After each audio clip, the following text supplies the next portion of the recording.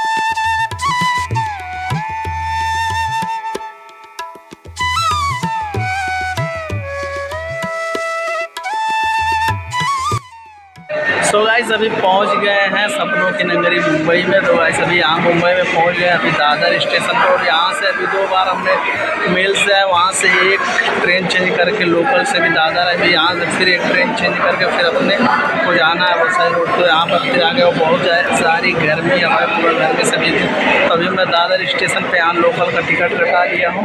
Local का counter है, मेरे पीछे लोकल का काउंटर तो यहाँ से फिर मैं निकलूँगा अभी बिरार के लिए। तो बिरार लास्ट स्टॉप पर आ जाएगा और वहाँ पे मेरे को बस है, एक स्टॉप दो स्टॉप पहले ही उतर जाना। तो अभी चलते फिर वहाँ पर फिर आगे मिलेंगे आप लोग को। बहुत ज़्यादा ट्रेन में गर्दी भी थी जैसे कि आप लोगों को पहले ही बताया था, गर्दी बहुत ज़्यादा दिख रहा और गर्दी वैसे था भी देखो दो बार ट्रेन को चेंज करना पड़ा लोकल दो बार पकड़ना पड़ रहा क्योंकि दो रोड था अभी कल्याण, हम तो कल्याण से एक रूट से आया तो अभी दादर आकर फिर एक ट्रेन चेंज करना पड़ रहा है। तो चलिए ब्लॉग में आप लोग कांटे बने रहिए और ये दादर का स्टेशन टिकट काउंटर मेरे पीछे।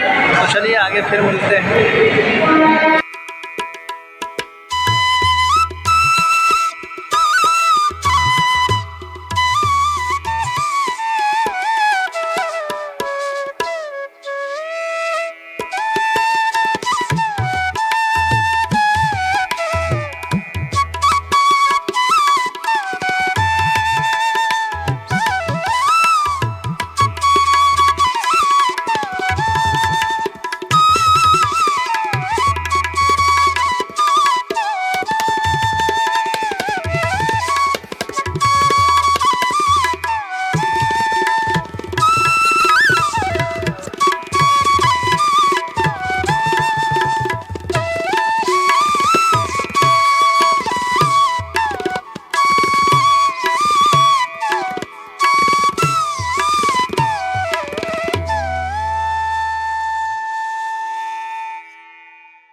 गाइस पहुँच गए हम अपने रूम पर, जहाँ पर हम मुंबई में रहते ये हमारा रूम यहाँ पर हम भाई लोग रहते सब लोग। और ये देखो, बहुत सारा कपड़ा, इतना कपड़ा ये लोग भर के रखे हैं हमारे देख रहे हो?